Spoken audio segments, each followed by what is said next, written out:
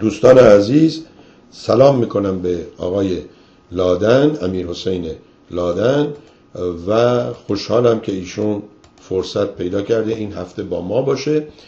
بهشون خوش آمد میگم و میکروفون رو در اختیار ایشون قرار میدم. آقای لادن این شما و این هم بینندگان و شنوندگان تلویزیون مردم در سر تا سر جهان بفرمایید.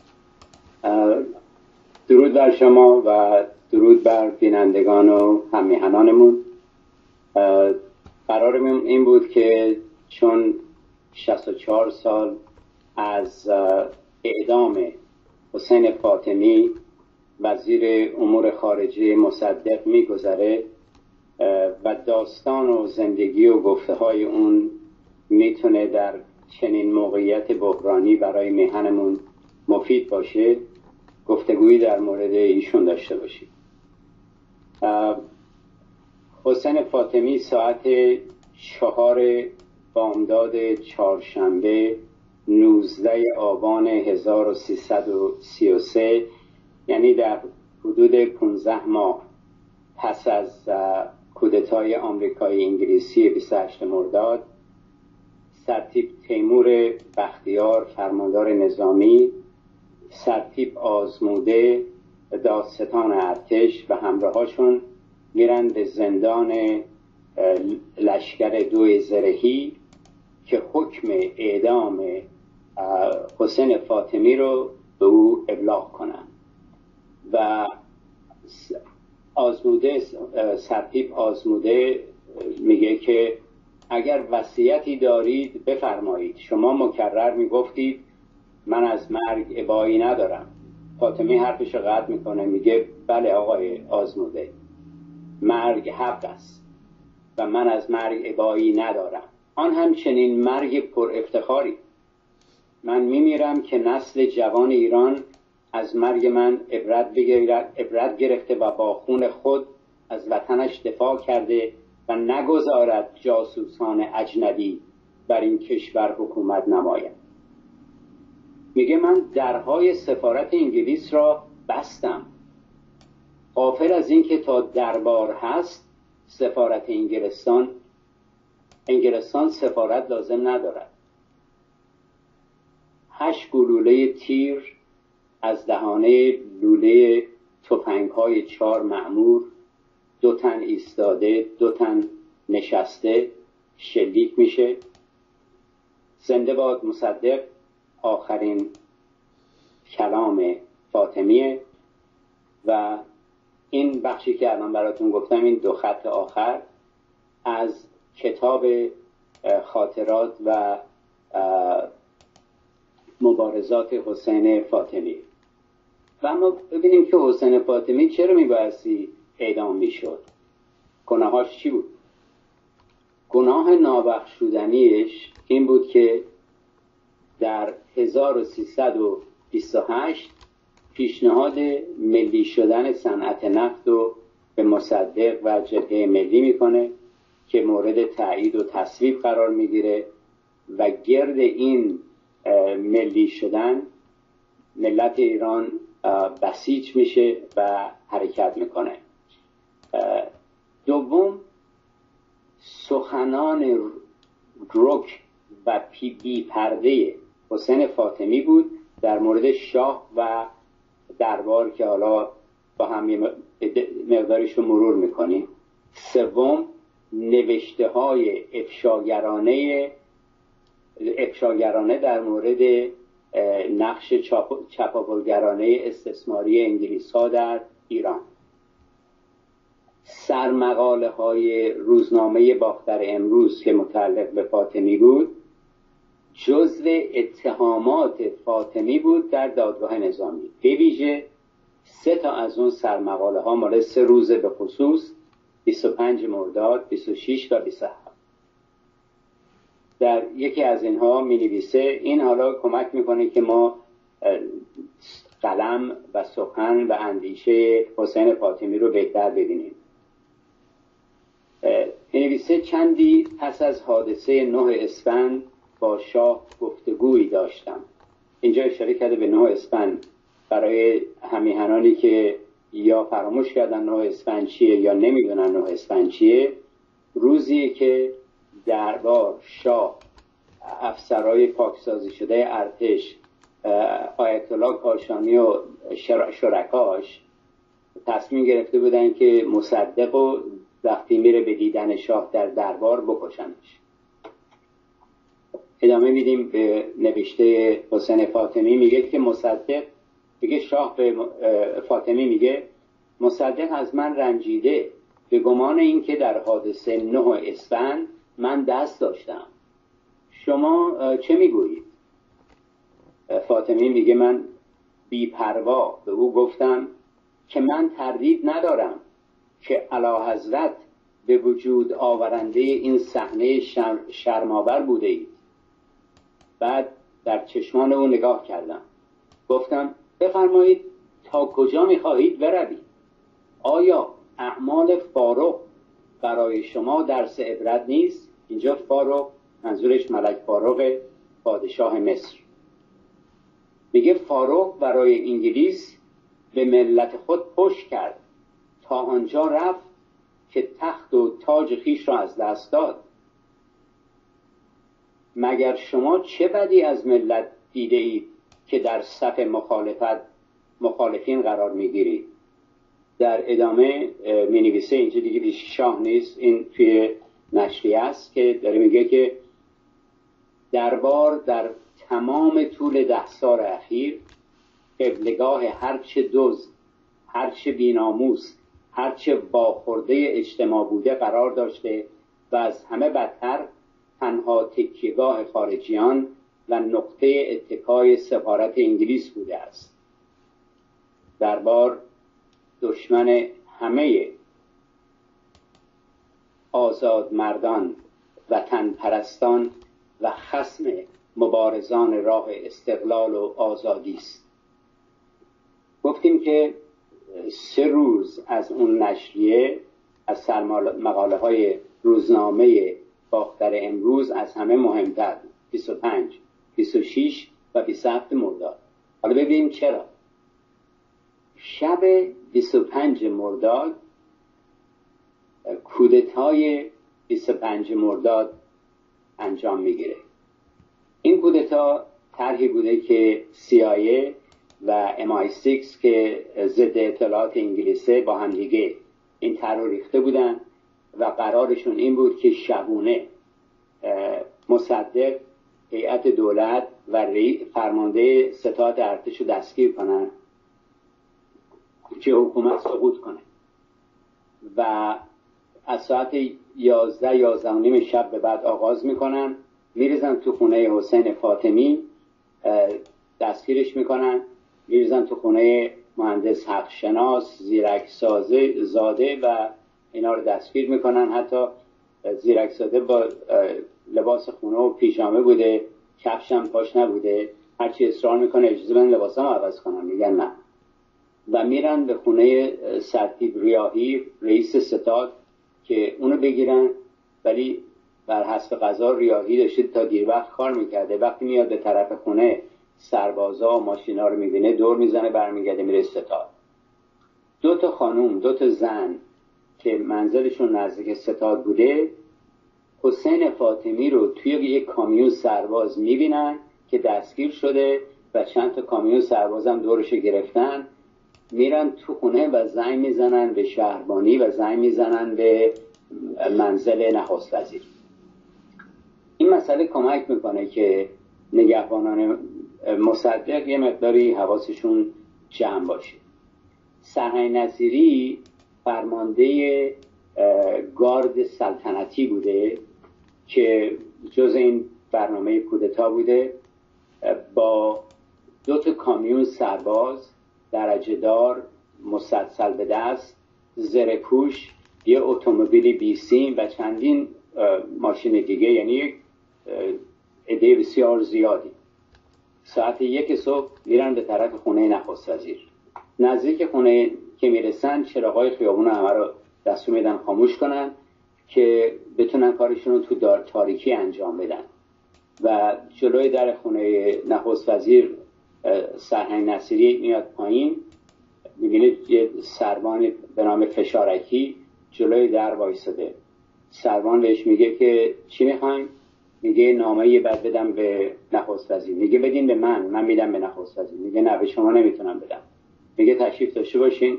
یه عدت نگهبانا رو می‌ذاره جلو در میره تو در قفل می‌کنه و به فرمانده خودش که سرهنگ دفتری بود.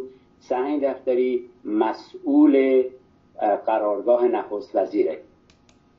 در این زم و با اون تلفنی که اون دوتا خانم کردن سرهنگ دفتری به کلانتری محل خبر داده که احتیاج به کمک دارن و میاد بیرون میگه بفهمین نامه رو می‌گیره باز دوباره در قفل می‌کنم میره تو نامه رو میده با مصدق یه رسید می‌گیره. و خیلی جالبه که میگن مصدق انقدر حواسش جمع بوده که روی رسید نوشته یک بامداد. و بعدا این جزء مدارکیه که توی دادگاه نظامی مصدق هست.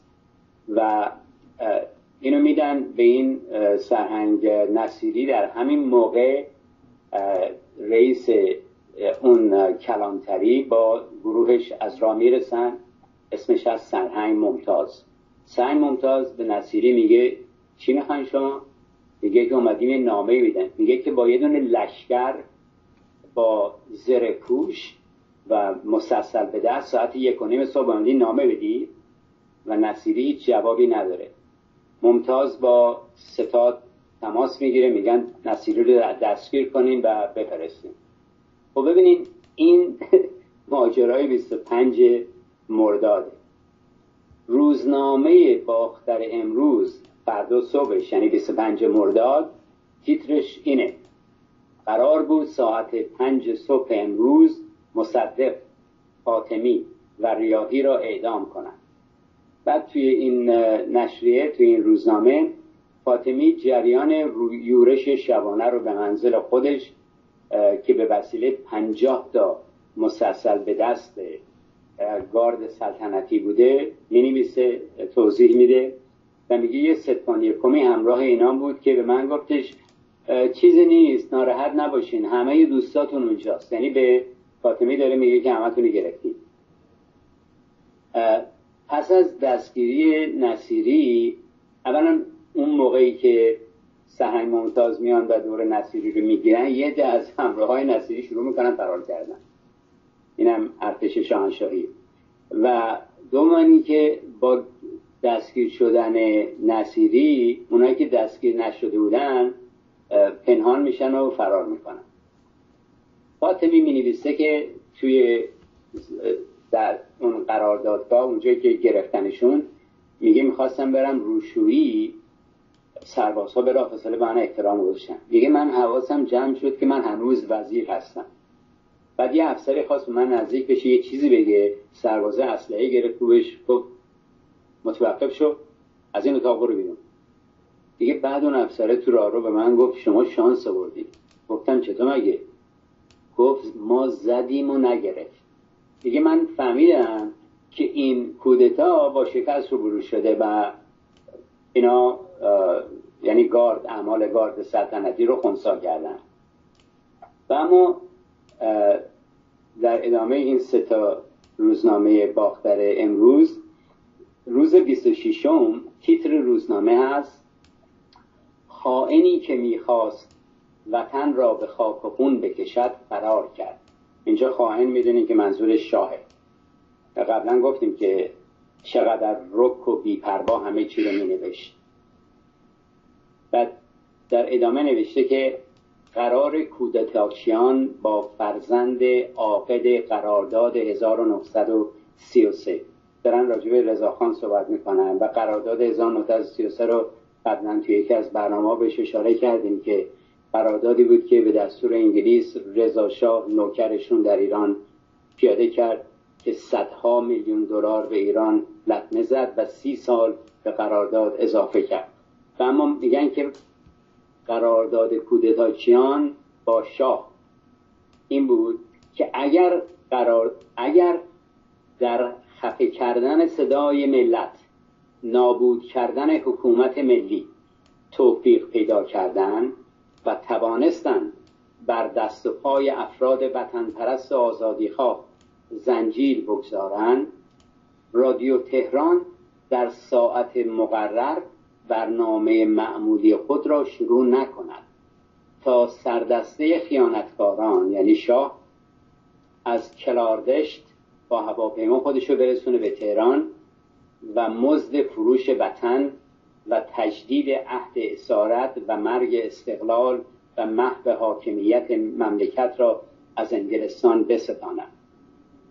در ادامه می نویسه این جوان هوسباز با یک چنین اندیشه خام و احمقانه فراموش کرده بود. ملتی وجود دارد که همه این مبارزات و افتخارات وطن تمام جهاد ملی شدن نفت و مجموعه مجموع عملیات چند سال اخیر در ترد نفوذ شوم و خانه برانداز استعمار انگلستان و عاملان او می باشد فاطمی میگه که من همیشه گفتم که حق این بود که پیش از بستن کنسولگری ها در شهرستان ها و سفارت فخیمه در تهران منظورش از سفارت فخیمه سفارت انگلیسه دربار آن مرکز ننگ و رسوایی که انگلستان را خالق خود می‌داند و ساخت پرداخته شده ژنرال آیرون ساید و مستر هاورد معروف است کوبیده شود و درب این خانه مجری اراده اجنبی ها را گل بگیرند در ادامه می نویسه این دو خط رو بخوام خواهش کنم که بینندگانتون بهش توجه بکنن. این آقازاده فرزند همان پدری است که 20 سال ایران را غارت کرد. نصف مملکت را به صورت املاک اختصاصی درآورد. و آیدات سالانه او سر به دهها میلیون گذاشت. سرانجام روزی که باید از منافع کشورش دفاع کند با کامیون جواهرات فرار را در پیش گرفت.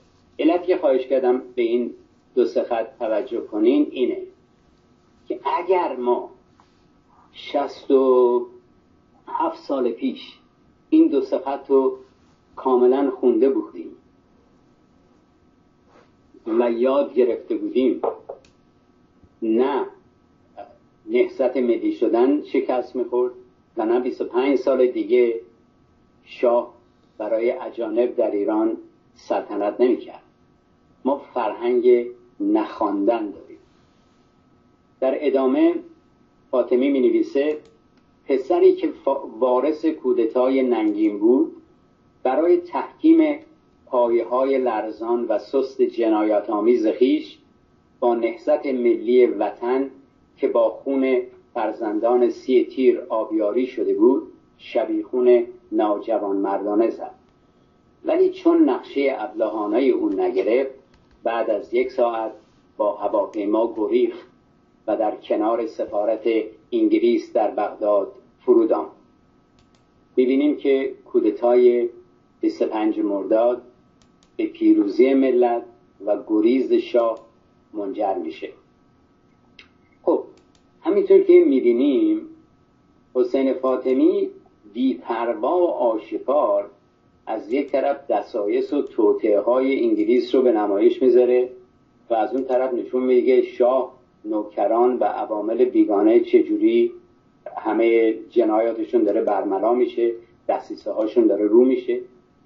و اما این مسئله که دست شرکت نفت رو کوتاه می‌کنه سفارت رو میبنده اونا رو اخراج می‌کنه. نه تنها یک شکست بزرگی برای انگلیس در ایرانه ولی امپراتوری انگلیس رو در جهان سوم و کشورهای مورد ستم کاملا آسیب پذیر می‌کنه. نشون میده که می‌تونن بزنن تو دهن انگلیس. و اما اینجا می‌خوام یه خیلی کوتاه مروری بکنیم به نوشته لطف الله میسمی در مورد برخی از کارهای فاطمی و دولت مصدق. می نویسته که شهید فاطمی از نزدیکترین یاران مصدق بود که در دوران حکومت 28 ماهه با همکاری یکدیگر از طریق بسیج مردم توانستند و تعدادی رو با یک دو سه چهار مشخص کرده. برای مثال میگه یک از شرکت نفت ایران و انگلیس خلعیت کنند. دو شیلات را ملی کنند. سه سیاست غیر متعهد و موازنه منفی را برقرار نمایند. چهار وزارت دفاع را از طریق قیام ملی سی تیر از شاه باز ستانند. مجلس قانون مجلس فئودالی انگلیسی درباره سنا را منحل کنند اقتصاد بدون نفت را تنظیم کنند لانه جاسوسی یعنی سفارت انگلیس را تعطیل کنند. اینجا خیلی خوبه میگه که قانون 20 درصد کل محصول روستاها را به نفع دهقانان تصویب و به مورد اجرا درارن و همینطور قوانین حمایت از کار و این لیست همینطوری ادامه داره. ولی در اینجا دیگه نوشته ایشون می‌ذاریم کنار و اینکه انگلیس و شاه و دربار دنبال کشتن فاطمی و نابودی نهضت ملی شدن نفت بودن قابل درک. ولی از دید من ایرادی که به شخص مصدق دولت مصدق و جبهه ملی وارده اینه که چرا پس از ماجرای نه اسفند دشمن رو قلقم نکردن. این دشمن اومده مصدق بکشه. دیگه از این بدتر که نمی‌خوان که. چرا قلقم نکرد؟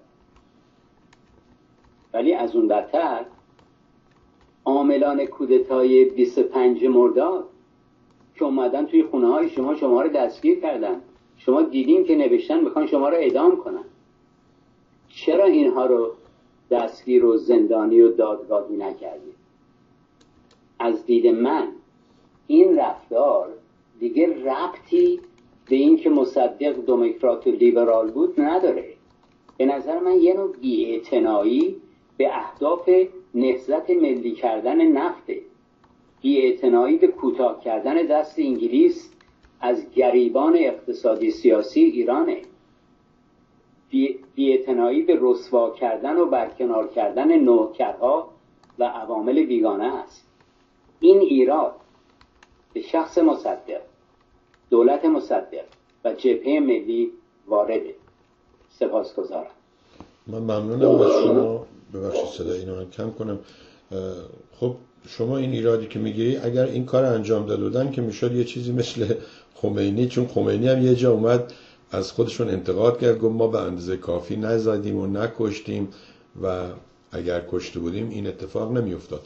ولی یه سری از دوستان میگن که آقای حسین فاطمی تندرو بوده و حتی برخلاف خواسته های آقای مصدق و برخلاف برنامهشون که همون سلطنت بوده بدون دخالت پادشاه در حکومت ایشون جمهوری اعلام کرده بوده نظرتون در این مورد چیه؟ خب البته این حرف این فقط حرفه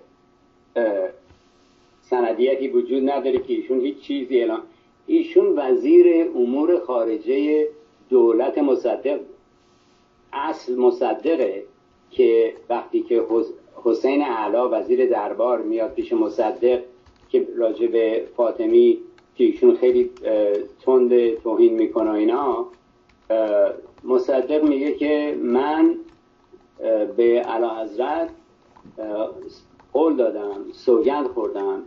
که من تا زمانی که به قانون اساسی احترام گذاشته بشه من به سلطنت وفادارم و رئیس دولت مصدقه. اونای دیگه همه در تحت اختیار مصدقن. از اینکه حسین فاطمی بیپروا حرف می‌زد و به خائن می‌گفت خائن این شکی وجود نداره. کسی مصدق تا لحظه تو حتی توی دادگاه نظامی به شاه نمی‌گفت خائن می‌گفت علا حضرت. فرمودن. اون سیستم خودش داشت روش خودش داشت. و من امروز به شما میگم که معتقدم وجود فاطمی و نحوه گفتار و نوشتارش هم لازم بوده که یک تعادلی به وجود بیاره برای مصدق که دیگه کاملا اون طرف داستان بود. یعنی شاید به قول بعضیا اشور به درش کرده بود. دیگه دومکرات و لیبرال بودن هم یه حدی داره. این دوست ما از آلمان همشهریمون میگه که مصدق در تصمیم گیری ها خیلی متزلزل بود. شما گفته ایشون رو قبول دارید یا نظر دیگه ای دارید؟ این که ایشون به کار می‌بره مشکل دارم. متزلزل نبود. اتفاقا مصدق خیلی از این نظر پابرجا بود. ولی وجودش تمام اندیشش در چارچوب یک حکومت دموکرات بود. رفتارش دموکراتیک و لیبرال بود. ببین همون اولی روز اول که مقام نخست وزیر رو قبول کرد جراید رو جمع کرد. گفتش که من دخوام به شما بگم که شما کاملا آزادی که هر چی می‌خواین بنویسین. ولی حرمت کلام و قلم رو نگه دارین و به کسی تهمت نزنین. درباره من هر چی دلتون می‌خواد بنویسین.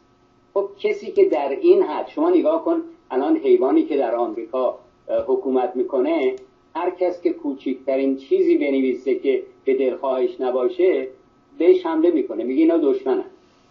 مصدق اصلا برعکس این مطلب بود. مصدق متزلزل نبود. پایدار و استوار بود. ولی زیادی از حد.